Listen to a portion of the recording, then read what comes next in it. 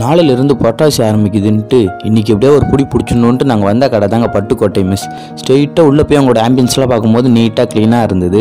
சைடில் இருக்க ஃபோட்டோலாம் பார்க்கும்போதே எனக்கு செம டெம்டிங் ஆயிடுச்சு சரி எனக்கு ஒரு புடி நினச்சிட்டு போய் உட்காந்து அவர்கிட்ட ஆர்டர் பண்ண ஸ்டார்ட் பண்ணிட்டேன். எது கேட்டாலும் இது இல்லைப்பா இதுக்கு பதிலாக அது இருக்குப்பா இது இல்லைப்பா இதுக்கு பதிலாக அது இருக்குப்பான்னாரு. அப்போ எனக்கு ஒரு டைலாக் தான் ஞாபகம் வந்தது. பிசா இல்லைங்க இல்ல. சிக்காங்கொக்கா இல்லைங்க இல்ல.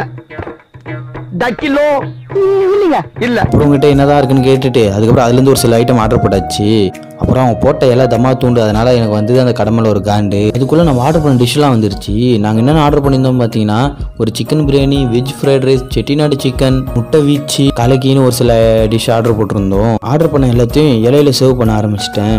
இலை ரொம்ப சின்னதாக இருந்ததுனால எல்லாத்துலேயும் கொஞ்சம் கொஞ்சமாக எடுத்து தான் வச்சுக்கிட்டேன். எல்லாத்தையும் டேஸ்ட் பண்ணலான்ட்டு ஃப்ரைட் ரைஸ் எடுத்து சாப்பிட்டு பார்த்தேன். உண்மையாகவே வேற லெவலில் இருந்தது டேஸ்ட்டு நான் வந்து மெனுலாம் இல்லை என்னடா சரியே இல்லை ஒரே மைண்ட் அக்செப்டில் தான் இருந்தேன்.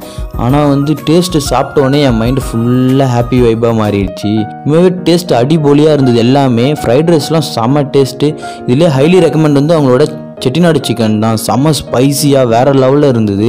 சரி அதுக்கப்புறம் பிரியாணிலாம் ட்ரை பண்ணி பார்த்தேன். பிரியாணி எல்லாமே வேற லெவலான டேஸ்ட்டு தான். நீங்களாம் கேட்பீங்க வேற லெவல் வேற லெவல்ன்ற வார்த்தை நிறைய யூஸ் பண்ணுறானேன்ட்டு எனக்கு தெரிஞ்ச அதிக லெவல் வார்த்தையே இந்த வேற லெவல் தான். அதனால தான் நான் வேற லெவல்ன்ற வார்த்தையை ரிப்பீட் பண்ணுறேன் போக போக எல்லா வீடியோலையும் நம்ம சேஞ்ச் பண்ணிக்கலாம். அதுக்கடுத்து முட்டை வச்சு எல்லாத்தையும் சாப்பிட்டு பார்த்தேன். எல்லாமே நல்லா தான் இருந்தது.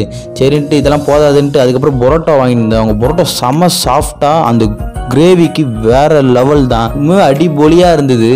சரி அதுக்கப்புறம் இதுலேருந்து சரி நம்ம சிக்கன் ரைஸும் வாங்கி ட்ரை பண்ணிவிடுவோன்ட்டு சிக்கன் ரைஸை வாங்கி எடுத்து வாயில் போட்டேன். இந்த சூடு என் நாக்க நாட்டியம் அட வச்சிருச்சு.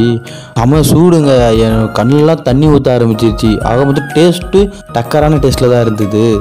அதுக்கப்புறம் அங்கேருந்து எல்லாத்தையும் நாங்கள் அடிச்சு நாக் அவுட் பண்ணிட்டா பத்திரமா வீட்டுக்கு போய் சேர்ந்துட்டோம். அப்படியே நம்ம சேனலை சப்ஸ்கிரைப் பண்ணிக்கோ.